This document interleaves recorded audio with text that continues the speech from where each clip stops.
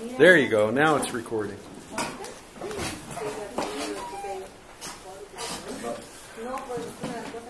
Okay, so uh, first of all, I want to guys remember three or four this like Tang uh, and uh, this the Vichy and uh, glorious.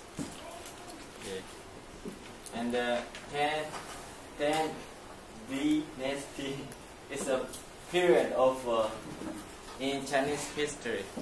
The Tang is also a name of the key. And then actually, I think you know those uh, words, but I don't know, and then I read down the here. Um, let's see, do you know distinguished? Yeah. Good. She knows it. Yeah. Sulema, do you know glorious? Actually, we talking about this word in the Glorious is when you put your uh, cell phone in your pocket and you pay totally glorious attention. Any question about that? Should we move to the next slide? Yeah. Mr. Chan. Oh my God! Did you see that? His poem just like food to nourish people's mind. Because when he uh, when he uh, wrote the poem, and uh, all poem is related to the life and teaching people how to be better. Yeah. This poem is just like food to nourish people's minds. Yeah. Maybe if we turn the lights off, Samira, You maybe can it see would more, be yeah. easier to read that slide. Yeah. You know, that picture reminds me of the Chinese or was a Japanese picture that we did that we did in art class. I found this picture in the website. I'm just saying it reminds me of that Okay. it's of that Chinese art that we did in writing class. Remember the, you know the one I'm talking about with the big ocean wave? Yeah. Do you see the similarities in the art Similarity.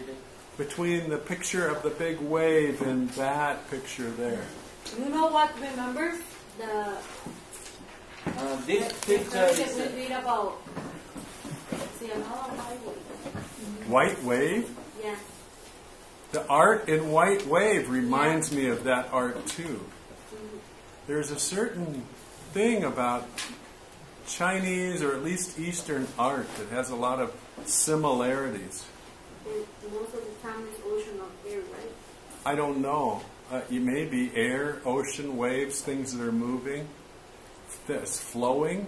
See how the river flows and the wave in that picture flowed, and then white wave, the rice flowed out of the. I don't know.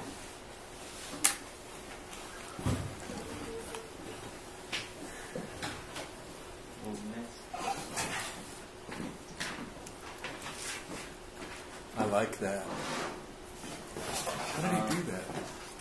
I found his uh, picture read by some article, but I don't find the really picture because uh, this guy born in the uh, past time, and so I don't know. It's So you don't have the ago. day that he was born? So what? You don't have the date that he was born? I'm sorry. You don't have the date that he was born? Yeah, I have. Because in that time, I think a human doesn't have uh, the camera to take that picture. So yeah, I don't find it. Is this a real picture? Well, you know, no. Actually, people just uh, imagine and then to write down like that. They just random, right? Yeah. The next one. His name is Li Bai.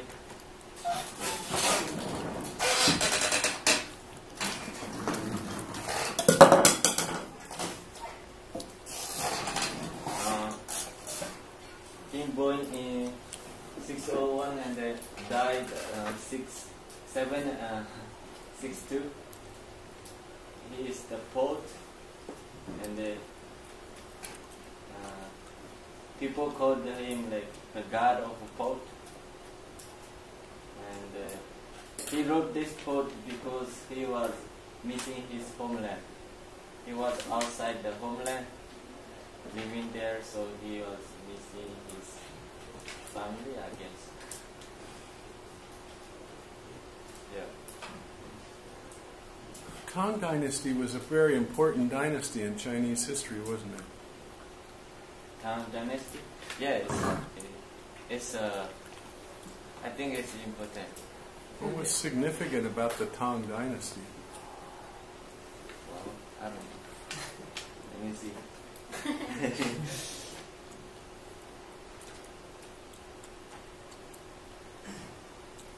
Why was he called the god of poets? Because uh, people think he is the best poet. Yeah. And they, he have a lot of students like, who are trying to learn how to make the poets. Why didn't they just call him the best of poets then? Because uh, he he can make poet in the seven state. Yeah, he can. He are so smart, intelligent, you know. So I think that's why think people. Because uh, you know, in the in Tibet, and I mean, in, in Chinese language, and uh, it's really hard to make a poem. They they when they making poem, they have they are just like uh, five syllable, seven syllable. You know, one word is one syllable, and then uh, it this word uh, represent a lot of things, but it's it's hard to write. it. Yeah. Does it make sense?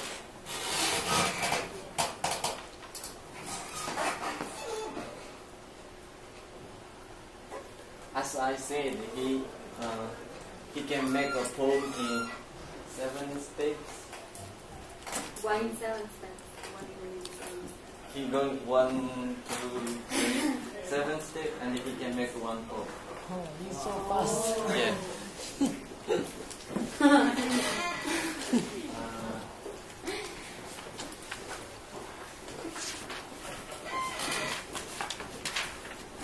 he made this poem because uh, when he saw the moon and coming out, and then his family often like to view the moon with him when he was young, and then uh, he when he see the moon coming out, he was missing his family homeland. Yeah.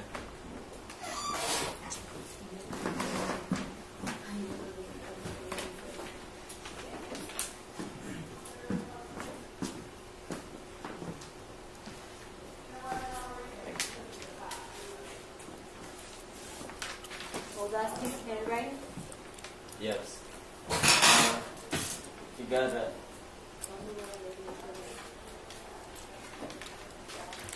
But you told me that you could not read that writing, right? Yeah. That the characters are very difficult to read. I can. It's a very old style. But on the side, on the on the left side, This side I can. Actually, I can. you can read the left side, right? Because that's relatively new. Yeah. This one. Yeah.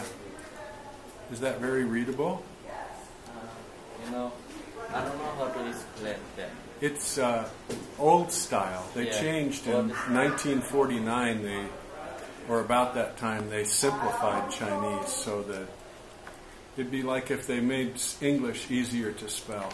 Yeah.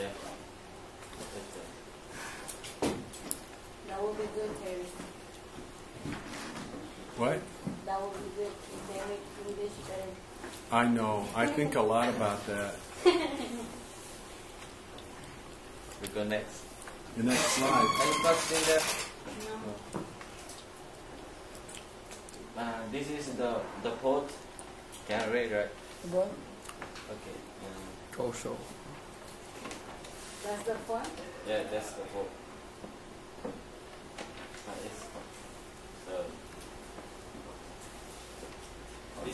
Title and this is the name of the author.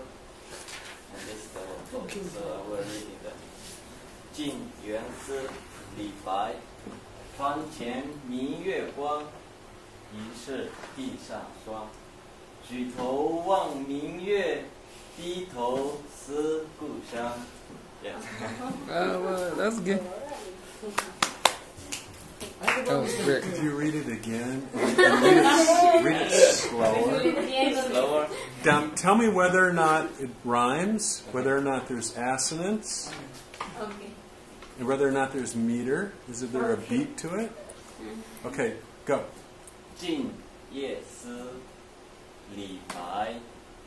窗前明月光，疑是地上霜。 举头望明月，低头思故乡。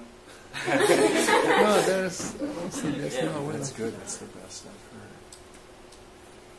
You wanna So, again? Fardosa, does it rhyme? I think they have. Maybe. Yeah. We will see. I'm It sounds like music to me.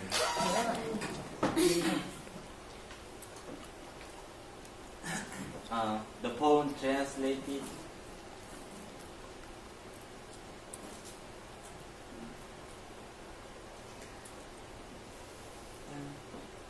Do you want me to read it? Okay. Go. No, you read it. I wake and the, and the moonbeams play around my back. Galaxy like uh, pour forth to my wandering eye. Upward the glorious moon. I raise my hand.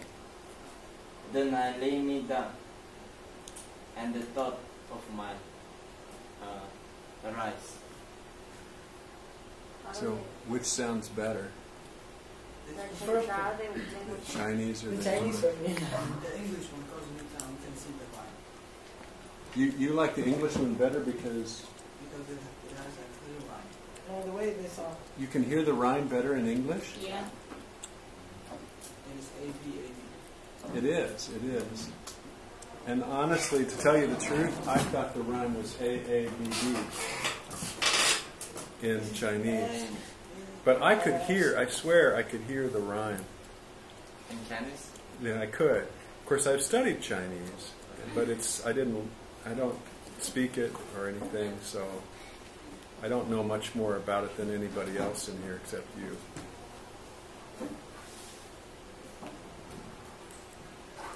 Okay, so what's it mean? What's it mean? Actually, it means when the moonlight coming through the window to his bed, and then he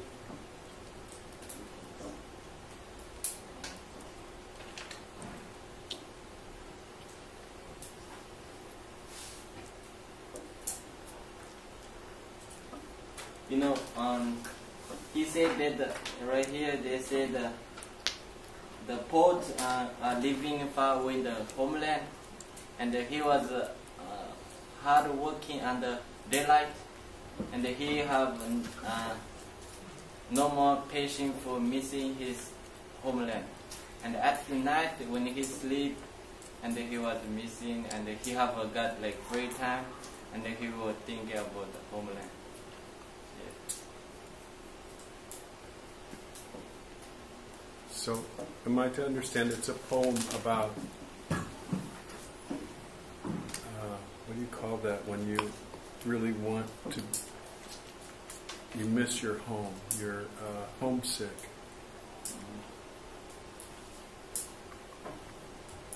Yeah, uh, like homesick.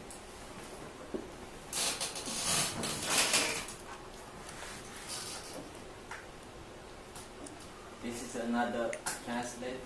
Uh, beside my bed, a pool of light. It is, it is pour, uh, pour forth underground. I lift my eye and see the moon. I bend my head and think of my think of home. I think no one's better than ours. This one? why. Why? How do understand? Yeah, the symbol and clear. Yeah, it's uh, like easy to see, understand, but it's uh, not like the rhyme. But Yeah, it doesn't rhyme. yeah, It doesn't give you the feeling of the beauty of the poem, but it's easier to understand the meaning. Although I don't know what hoarfrost is. Uh, I got a Overall? for you. okay, good. It seems like uh, this poem is so short. Why? So short, why? well, It is just very one stanza. you know the other other translate is trying to make the rhyme and trying to make the main idea. You know, that's why I think it's gonna be long word. This just shows like main main idea. And the other one was also short.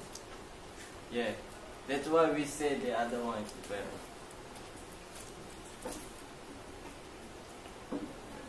Move it?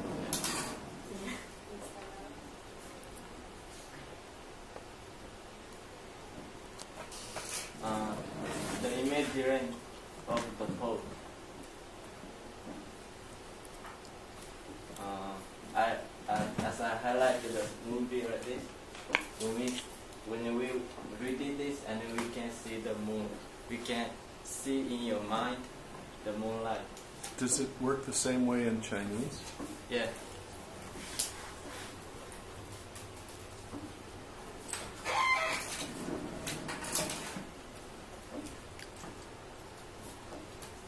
The line of the poem.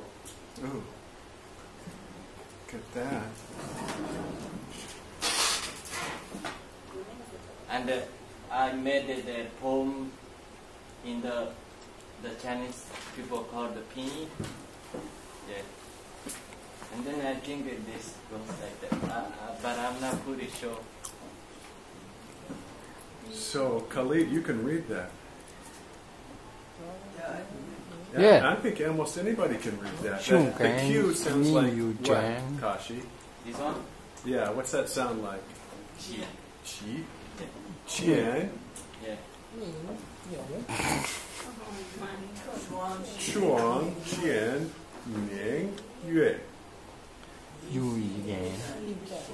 so when, when, you see, I think, now correct me if I'm wrong, when you see this going up, it means, it means Chuang, Qian. And when you see it going down like this, it means Yue. Oh. What's that edit? Chinese is a tonal language, and there are four tones in Mandarin Chinese. I have no idea what Bisa tahu kalau what? the original language was. But some, some, some Chinese languages have as many as seven tones. But when you say a word a different way, then it means a different thing. Yeah. So if I say ma, I'm asking a question. But if I say ma, what am I saying? Ma. Ma. Something. No, it's a different word. It's horse and hare and uh, I don't know. Sorry, I don't remember. But the rhyme pattern is different than what I expected, and it's the rhyme pattern is different than the English translation.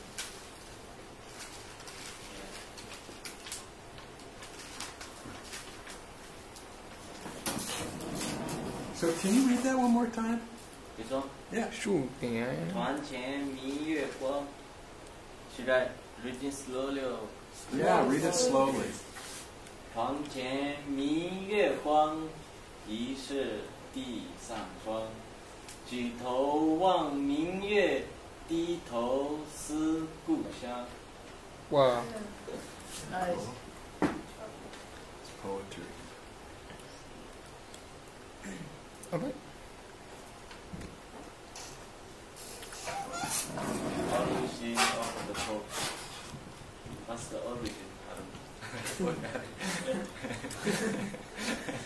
The origin? means that it relates to some other part of Chinese literature, some other something else that we know. Oh yeah. Oh yeah. This is uh, this is last two sentences of the quote that means uh, when he lift his hand up, see the moon, and he think about the homeland.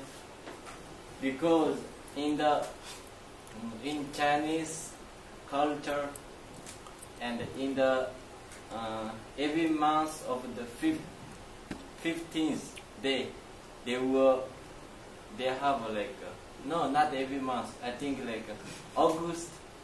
I have I think they have like a holiday.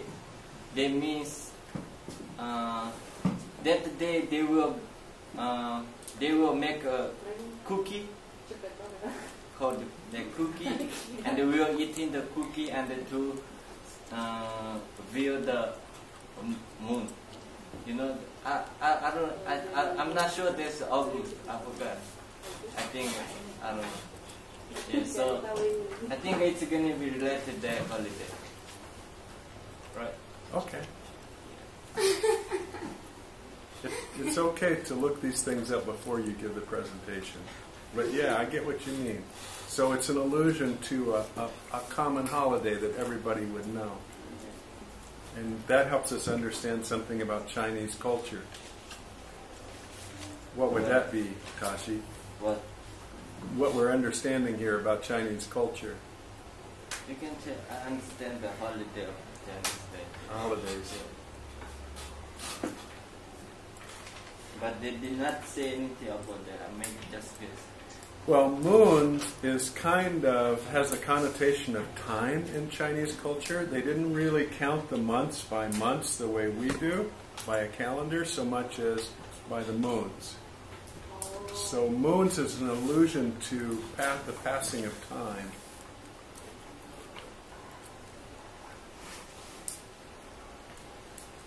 Okay.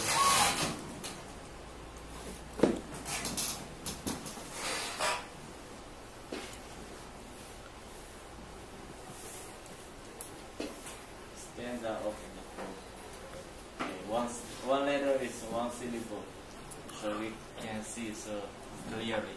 One character, right? Yeah. One character is one syllable. Yeah. One syllable, one syllable. But the poem contains just one paragraph. How can you know? One paragraph? You know, One? Oh, I don't know. It's very short. yeah, most of uh, poems is like that. If they are not like uh, standards and uh, the more than like that sentence, it's not called the poet in Chinese language. They will call another. Another form? Yeah.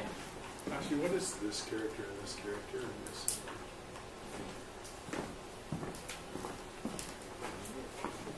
This one, actually, this mean if we only say this is tomorrow, and if you say this are together, there goes moonlight. Tomorrow's moonlight. No. Oh, together they mean moonlight. Moonlight. If we say 明天, they will say tomorrow. Uh huh. Uh, they, this a lot of mean. Uh huh. And the other we character means together with moon. This and then moonlight. Yeah. And this is uh, this is moon. What does stanzas mean? What does it mean? What you say that what's mean? No, I what does stanzas mean? Stanzas. Stanzas. Uh, stanzas is like uh, uh, how to explain that? I- Kind of like a paragraph. yeah, paragraph. The sentences is uh, same, right? Same how how many words they have. Yeah. I think yeah.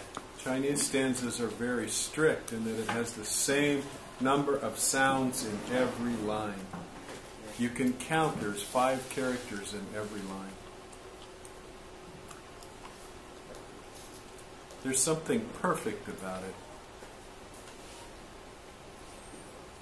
Almost all the words look the same.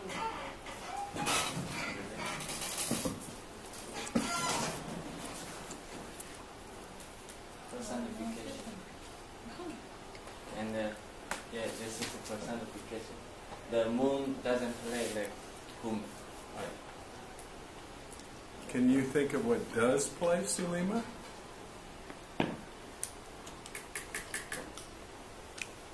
Personification here we're talking about.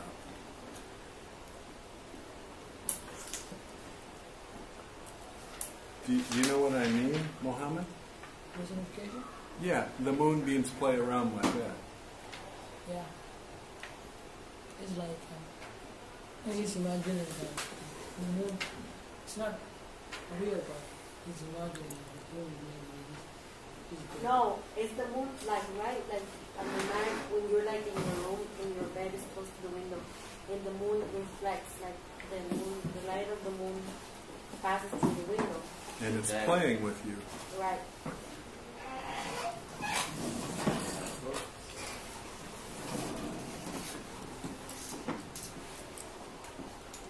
The signification. What is signification? Signification means the uh,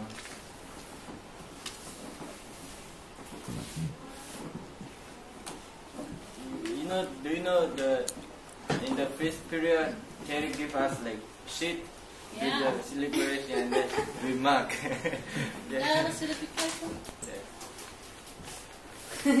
well, I think in Chinese it's really very, very strict and very straightforward. There are five syllables in every line of this form of poem.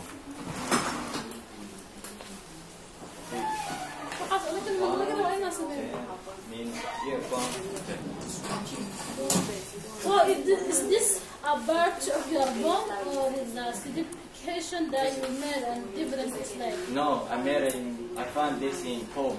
It's a form of writing that the Chinese use sometimes to so for people like us to read it. When you when you learn So what I'm saying is that when you're making the signification, are you gonna making it for different slides or you are doing in the book? I'm doing in the poem.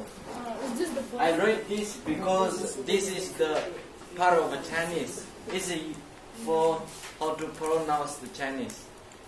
You know?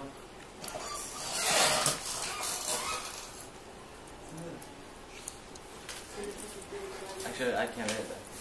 Oh, you want me to? Oh, yeah, instead of using that marker, use a marker like this. But does that?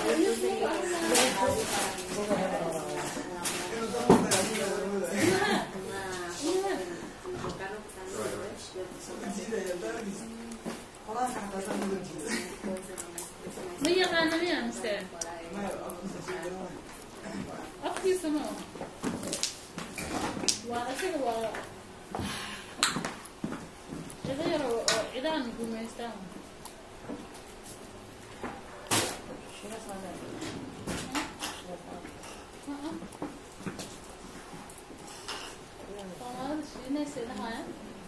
Well, Tasha, we've got uh, another presentation, so we're going to run out of time here. So, you want? Is there one last thing you wanted to say about this? Samira, are we losing you? Did you answer your question? excuse me I can answer you tomorrow. tomorrow I, I just I didn't know whether your question had been answered or not. Okay. no you he should answer my question why Well, you, you Bibliography. I'm I'm waiting his answer okay? So Google was search for 0.17 seconds, Yeah. 17 hundredths of a second. Why do we? What? I don't know. It's They weird. put it in the second. I don't know. That's not MLA, no. No. Uh, Es tu ta. okay, forget about the one. Why? No, zero point seven seconds. come next time Okay, so uh, that's the end. Thank you very much for watching. Yeah, but we have peace.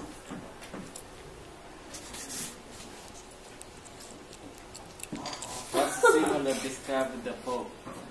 Okay, so on the bottom of your sheet, could you write number one, either A, D, or, or in the back. You turn to the back of your sheet? Number one, what simile describes this poem?